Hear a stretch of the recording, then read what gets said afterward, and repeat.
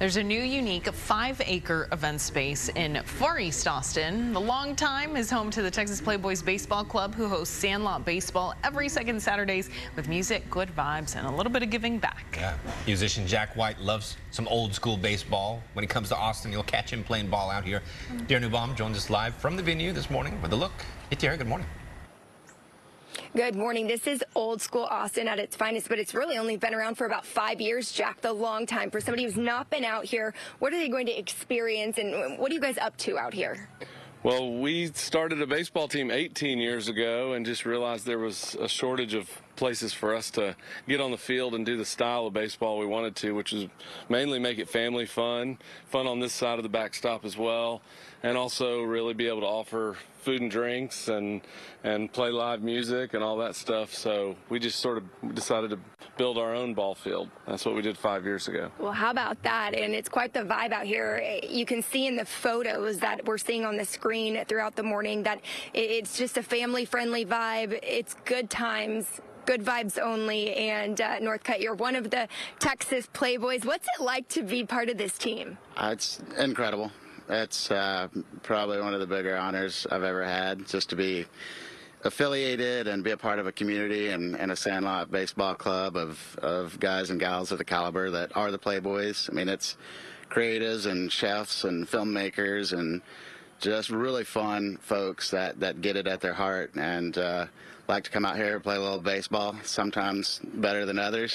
but we always have fun and we always raise money and, and try to be a part of the community and, and continue to build community and help folks out that, that need it. Yeah, that, that's a big part of what you guys are doing is giving back to our community. But what's it like out here on game day? You guys have a game on Saturday. It's electric. Yeah, I mean, it's it's yeah. the that's the closest I'll ever be to, to being a rock star. I mean, there's we've got the uh, you know Amy Cook and Alex Moss and Ben Kwellers of, of the world that are on the team, and they get to actually go be a rock star. But when you're out here playing, you know, folks are out here to see the Playboys and see the visiting team and, and see what that's all about. But it's also not just about baseball. It's it's the arts, the pop-up shows, it's the music, it's the food, it's the bar. You know, it's it's just out here having a good time. So it's certainly not about the Playboys. Uh, but it feels good to be one. Yeah, I was talking to someone in the community yesterday, and they said, oh, I've got, already got the date on my calendar for Saturday. I've been looking forward to this, waiting for the game. They just want to be out here. They want to be in this energy. I know you guys need to warm up, so we'll let you head on to the field. We've got Adam joining us from Good Work Austin, and as we mentioned, the Texas Playboys giving back to charity.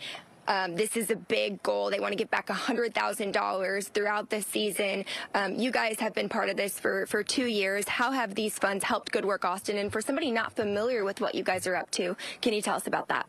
Yeah, for sure. Um, so I was one of the founders of Good Work Austin. I'm a, a business owner, a restaurant owner as well um, of L'Oca d'Oro, and then a number of other business, restaurants and bars helped found Good Work Austin to um, really envision a healthy Austin that was uplifted and uh, connected by by the bar and restaurant community. We provide free trainings, harassment prevention, DEI trainings, de-escalation trainings.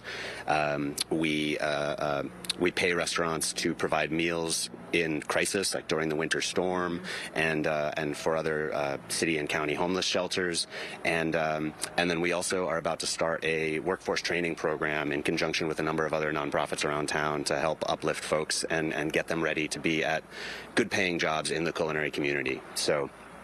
Um, We've got a lot going on, and the Playboys have been amazing. It's uh, it's such a fun fundraiser to come out here and be a part of the carnival and um, get to auction off uh, auction off a lot of items from all our bars and restaurants, listen to the music, kids and dogs running around, and there's uh, a couple of baseball games. It's it's a perfect day absolutely is. You love a perfect day, a fun day, and a day that gives back to our local charities. That was Adam of Good Work Austin. This is the Texas Playboys.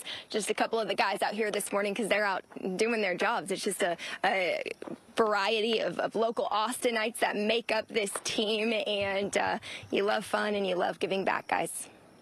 All right, sounds great. Thanks, Tara.